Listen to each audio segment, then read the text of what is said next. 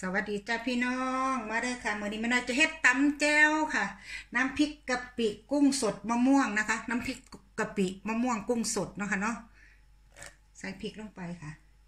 ความเผ็ดเอาที่เราอยากกินเนาะกระเทียมค่ะ โคกจ้ะ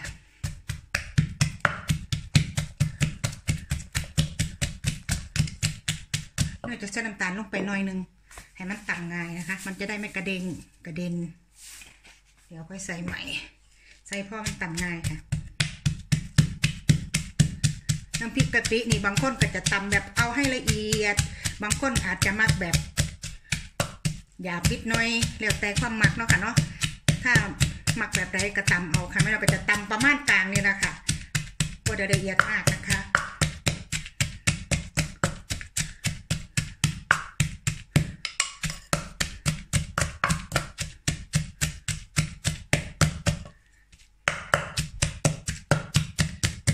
ตรงกระเทียมตรงเน้นๆนะจักหน่อยค่ะจะได้ความหอมนะคะ โอเคนี่เราก็จะใส่กะปิค่ะ ใส่กะปิลงไป ประมาณนี้ค่ะ ใส่น้ำตาลลงไปเพิ่ม กะปิต้องเผ็ดเปรี้ยวหวานค่ะจังแซบโขกกะปิ ให้เข้ากันกับน้ำตาล แล้วก็พริกเนาะ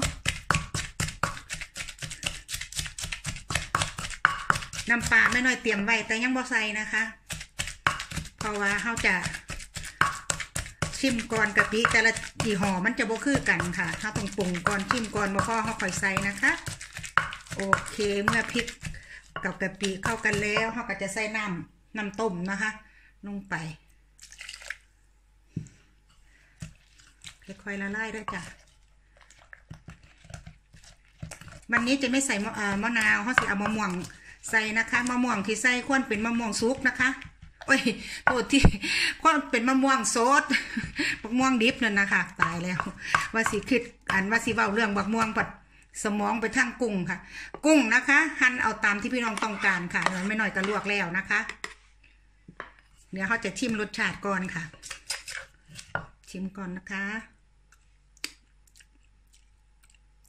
อือหือ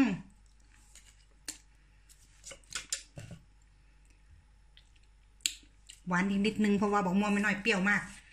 เขาต้องชิมบักม่วงน้ำเด้อค่ะ เอามาเสิเอาหวาน เปิดพิดขวดมันนี่เป็นยังไงเนาะสมองสมองบ่เหลือ น้ำตาลจ้ะตามด้วยผงชูรสนะคะ รมักกะใส่ใครว่ามักกะบ่ต้องใส่ก็ได้จ้ะ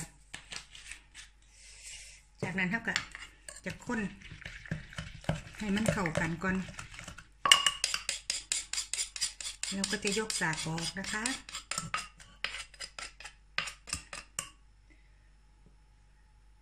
อ๋อไม่หน่อยหามองว่านสากยาดมันไหล โอเค ใส่มะม่วงลงไปค่ะ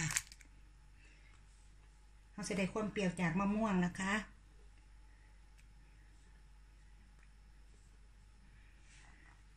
ตาม ด้วยกุ้งค่ะ น่ากินไหมคะ อยากนั่นไหมคะท่านผู้ชม โอเค ก็จะบอใส่น้ำต้มกุ้งนะคะพราะน้ำต้มกุ้งมันจะข้าวค่ะ มันก็จะเป็นน้ำพริกกะปิคลุกคลิกคลุกคลิกชิมก่อนค่ะ อือหือ